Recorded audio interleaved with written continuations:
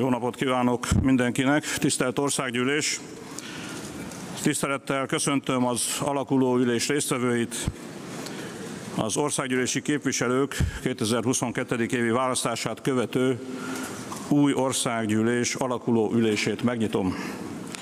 Kérem, hogy közösen énekeljük el nemzeti himnuszunkat.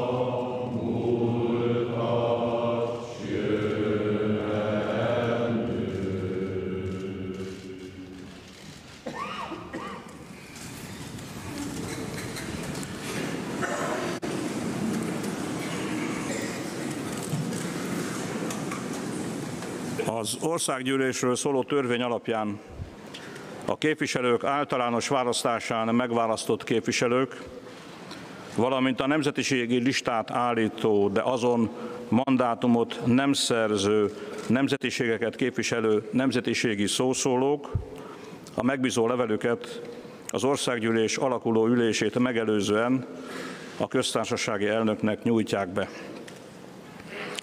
A megbízó leveleket az elmúlt napokban munkatársaim átvették. Bejelentem, hogy a törvénynek megfelelően az alakuló ülésig 199 képviselőből mind a 199 képviselő és a 11 nemzetiségi szószólóból mind a 11 benyújtotta megbízó levelét. Tisztelt Országgyűlés! A határozati házszabály 7. paragrafus első bekezdése alapján a házbizottság megalakulásáról szóló bejelentésig az alakuló ülést a korelnök vezeti. Most felkérem dr. Túri Kovács Béla képviselő urat a korelnöki tisztség ellátására.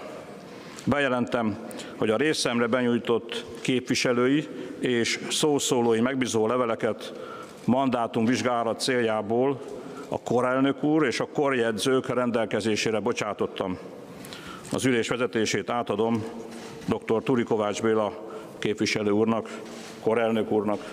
Köszönöm a figyelmüket.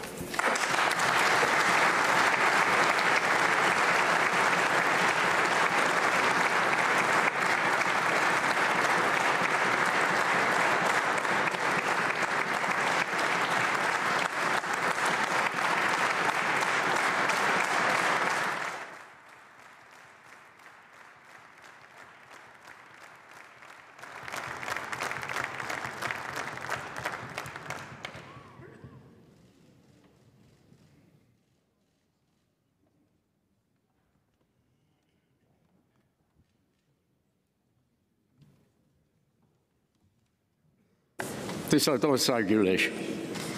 Engedjék meg, hogy én is tisztelettel köszöntsem az alakuló ülés valamennyi résztvevőjét, vendégeinket és mindenkit, aki figyelemmel kíséri ezeket az ünnepélyes pillanatokat. Bejelentem, hogy az országgyűlési törvény rendelkezései alapján a jegyzői feladatokat a tisztségviselők megválasztásáig a nyolc legfiatalabb képviselő, Varga Ferenc, Bakos Bernadett, Vég Noémi, Ungár Péter, Kony Zsófia, Nacsa Lőrinc, Illés Boglárka, Dúró, Dóra képviselők korjegyzőként látják el. Ennek alapján felkérem Dúró Dóra és Nacsa Lőrinc korjegyzőket, legyenek most segítségemre az ülés vezetésében.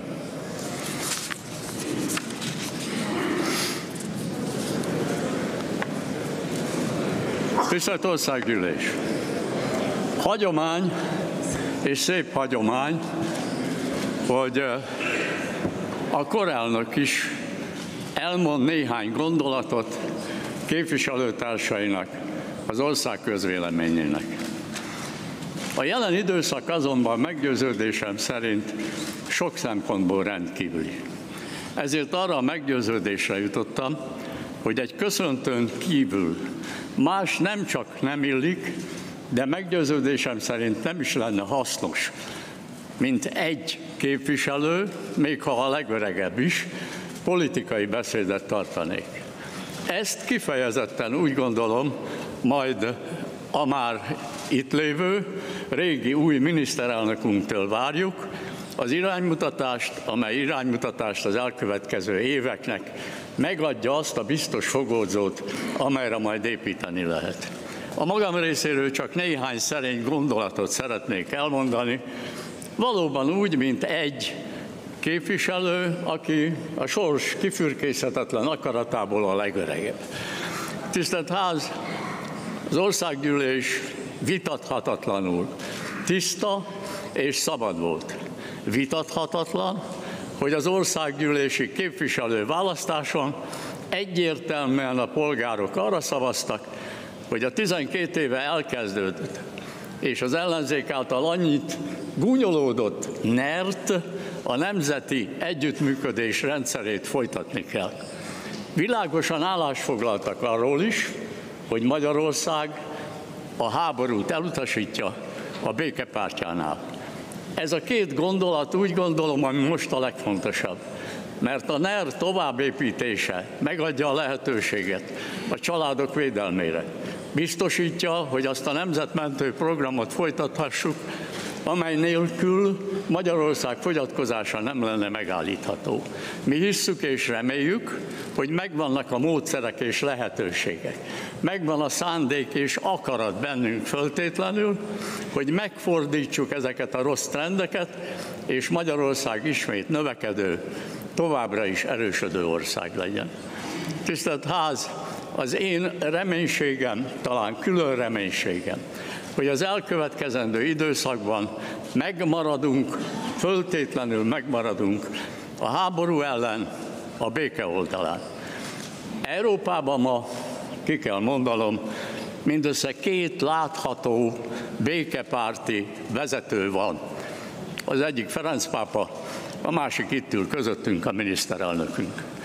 Tisztelt Ház!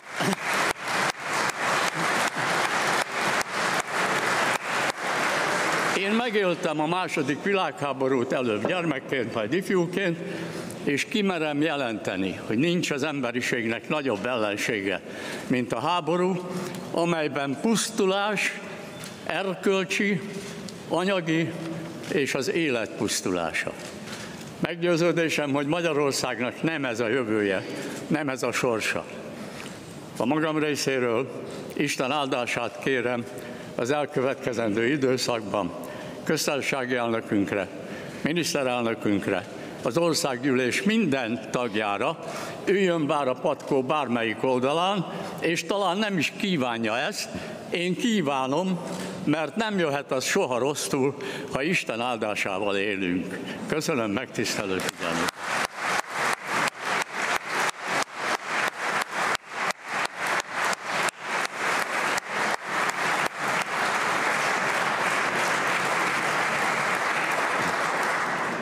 Tisztelt Országgyűlés! Most az alakuló ülés napirendjéről döntünk. Ezt a parlamenti honlapon valamennyiük számára tettük. Kérdezem a tisztelt országgyűlést, elfogadja a napirendi javaslatot. Kérem kézfelemeléssel szavazzanak. Megállapítom, hogy az országgyűlés látható többsége az alakuló ülés napirendjét elfogadta. Tisztelt országgyűlés! Soron következik a Nemzeti Választási Bizottság elnökének beszámolója a Nemzeti Választási Bizottság országgyűlési képviselők 2022. április 3-án megtartott általános választásán végzett tevékenységéről. A beszámoló B per 1 számon a honlapon elérhető. Megadom a szót dr. Téglási Andrásnak, a Nemzeti Választási Bizottság elnökének 5 perces időkeretben.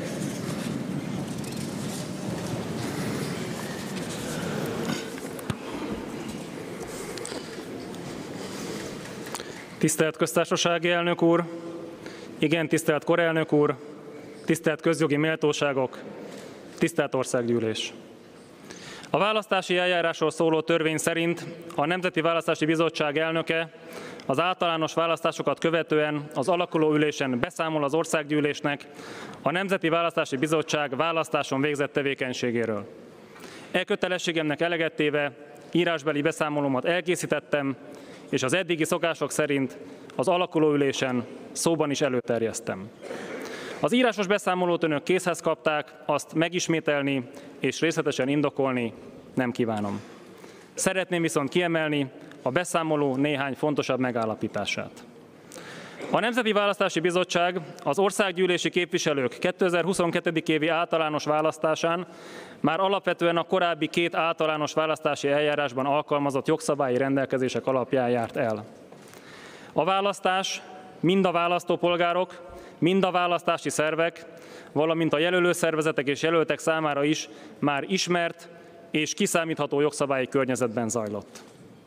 A Nemzeti Választási Bizottság összetételére vonatkozó szabályok a megelőző két országgyűlési képviselőválasztáshoz képest nem változtak. A Nemzeti Választási Bizottság 2013-ban megválasztott tagjai közül négyen, köztük a bizottság elnök helyettese, jelenleg is tagjai e bizottságnak. A bizottság 2022. március 23-a és az országgyűlés alakuló ülésének napja közötti időtartamban 18 taggal működött. A 2022. évi választás alatt a bizottság határozathozatalának jelentős részét tette ki a választási kampány szabályainak megsértése miatt indított jogorvosati eljárások első és másodfokú elbírálása. A jogorvosati kérelmek több témát is kiemelten érintettek, amelyeket írásbeli beszámolomban részletesen bemutattam. Ami a választás eredményét megállapító döntéseket illeti, itt most csak azt a tényt emelném ki, hogy a 2022. évi képviselőválasztás eljárásában a megelőző két országgyűlési választástól eltérően egyetlen egy esetben sem került vitatásra az egyéni választókerületi választás eredménye.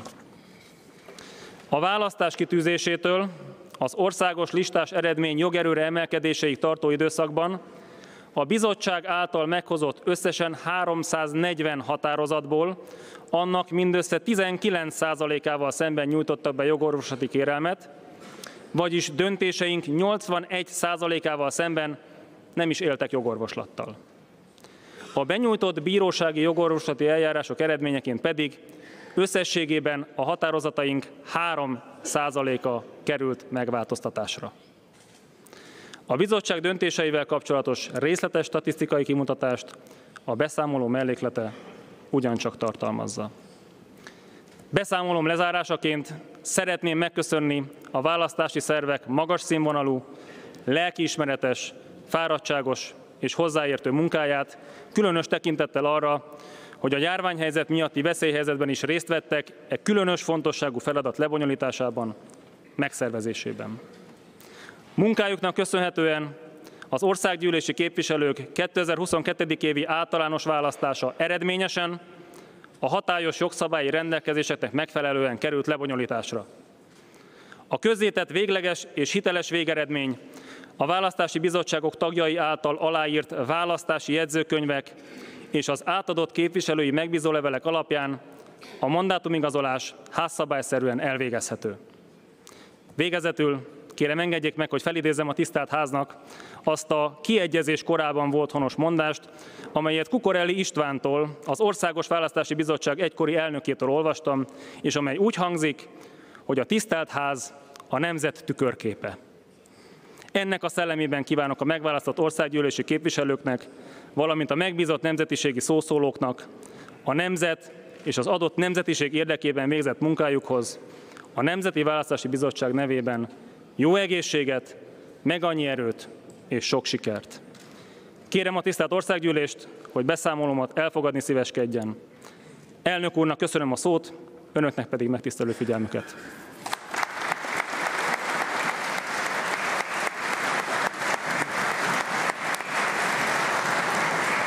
Tisztelt Országgyűlés!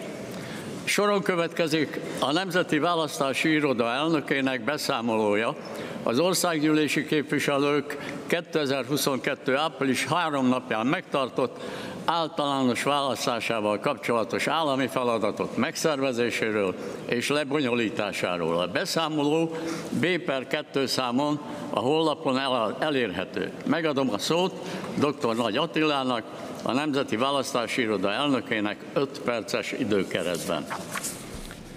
Tisztelt Köztársasági Elnök úr, Korelnök úr, közjogi és egyházi méltóságok, excellenciás hölgyek és urak, tisztelt országgyűlés, hölgyeim és uraim! Gratulálok valamennyi képviselőnek, szószólónak és jelölő szervezetnek. Gratulálok a munkatársaiknak is, valamint a képviselő hölgyek és urak hozzátartozóinak, családtagjaiknak, akik önökkel együtt élték át a választási kampány időszakát.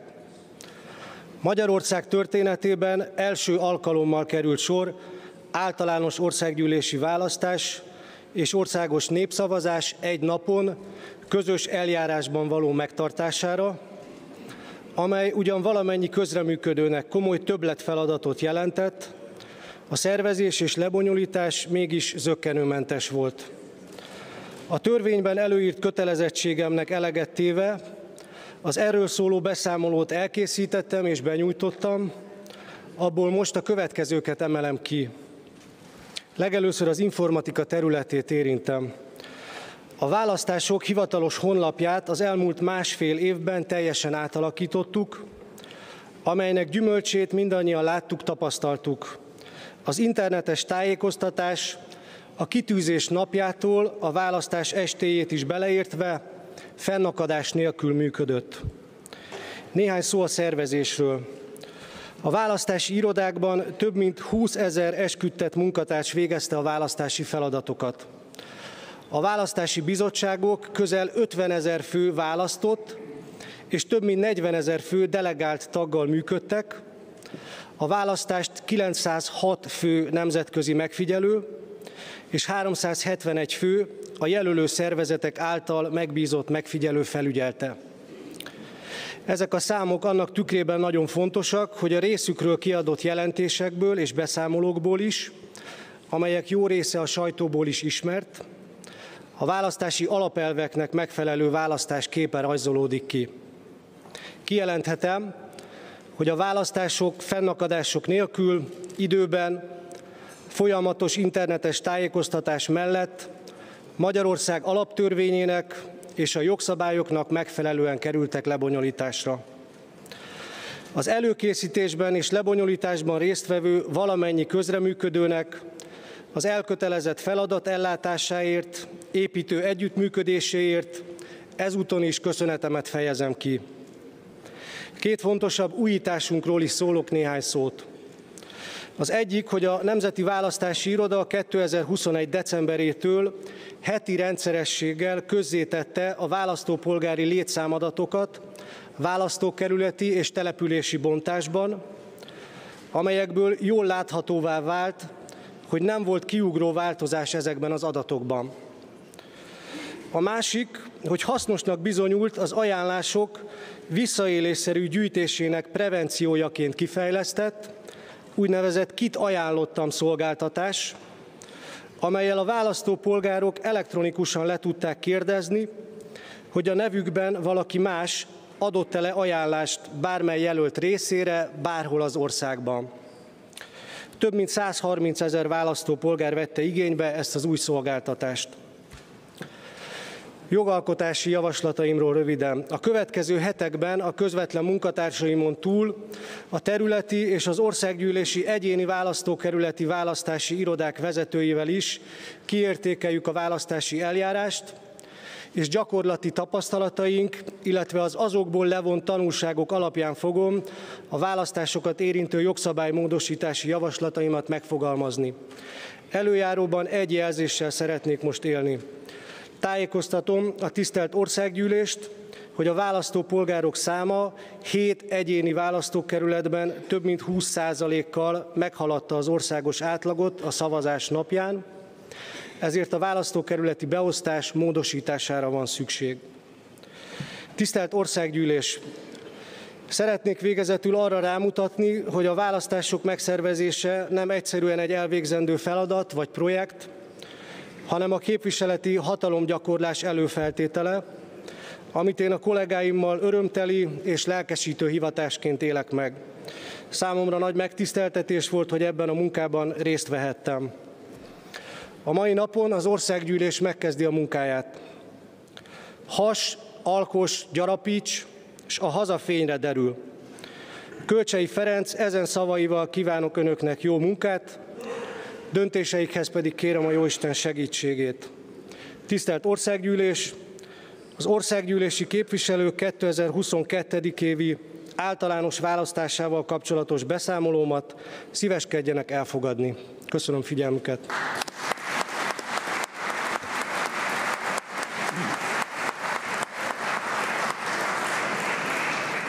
Tisztelt Országgyűlés! A határozati házszabály 11 paragrafusa alapján a beszámolókról az országgyűlés majd az eskormányok ellenőrzéséről szóló jelentést követően vita nélkül határoz. Tisztelt Országgyűlés! Most a képviselői mandátum vizsgálat következik. A korjegyzőkkel együtt mandátumvizsgáló testületként eljárva a választási iratok alapján megvizsgáljuk a képviselők és a szószólók megbízó levelét. A határozati házszabály 8. paragrafus 2 bekezdése értelmében a névsor szerinti első öt képviselő Ák Péter, Apáti István, Aracki András, Arató Gergely és Bajkai István testületként eljárva megvizsgálja a korelnök és a korjegyzők megbízó leveleit. A testület most megalakult. Kérem a testület tagjait, hogy a korjegyzőkkel együtt fáradjunk a kupolacsarnokból nyíló szacsvai terembe. Tisztelt Országgyűlés, most a mandátumvizsgálat idejére 20 perc szünetet rendelek el.